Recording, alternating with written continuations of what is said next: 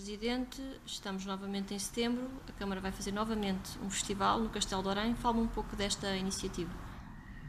Bom, trata-se da segunda edição de um festival que faremos todos os anos por esta altura e que resulta de um protocolo de cooperação entre a Câmara Municipal de Orém e a Fundação da Casa de Bragança e que de alguma forma nos eh, incumbe de gerir eh, quer um conjunto de obras de intervenção na Vila Medieval eh, de Orém, quer um conjunto de, de, iniciativas e de eventos que lhe deem visibilidade e que valorizem os seus diversos aspectos culturais.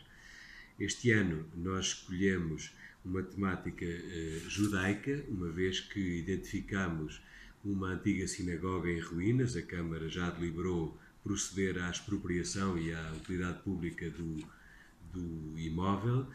Uh, e, e, temos um conjunto de, uh, uh, digamos que, eventos de natureza cultural que vão valorizar esta perspectiva judaica, sendo certo que, para além da, da valorização cultural e patrimonial da Vila Medieval de Orém, há também uma componente turística na qual estamos a investir complementando a diversa oferta que já temos no Conselho com estes aspectos.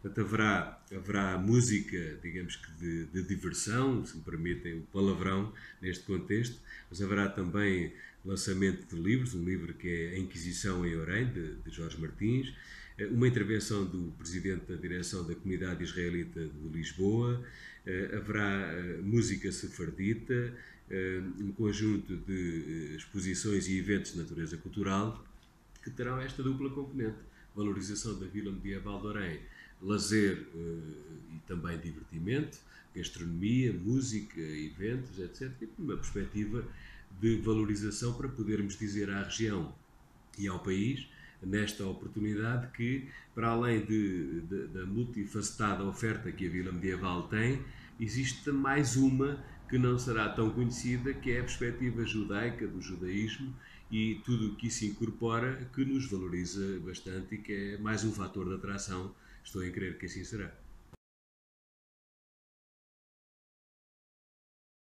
Uh, falou nessa sinagoga, que outras referências judaicas é que há na região ou inclusive no Conselho de Arém? No Conselho de Orem acho que não há muitas. Há na região, Tomar, Belmonte, há um conjunto de, de municípios da região centro que têm elementos fortes da presença judaica e que são valorizados por isso. Aqui em Orem nós tínhamos indicação histórica da existência de uma sinagoga, de uma presença judaica propriamente dita, Uh, e, agora temos este, este, estamos no terreno com uma decisão de expropriar, com uma decisão de pegar naquilo que será expropriado e será transformado numa outra visibilidade. Uh, queria também sublinhar, digamos que a envolvência da Fundação Oriana no sentido de nos ajudar também a alavancar este conhecimento e, portanto, é um evento que vai para além de um evento de diversão, é um evento temático de mobilização e de promoção, de promoção, com a envolvência de todos.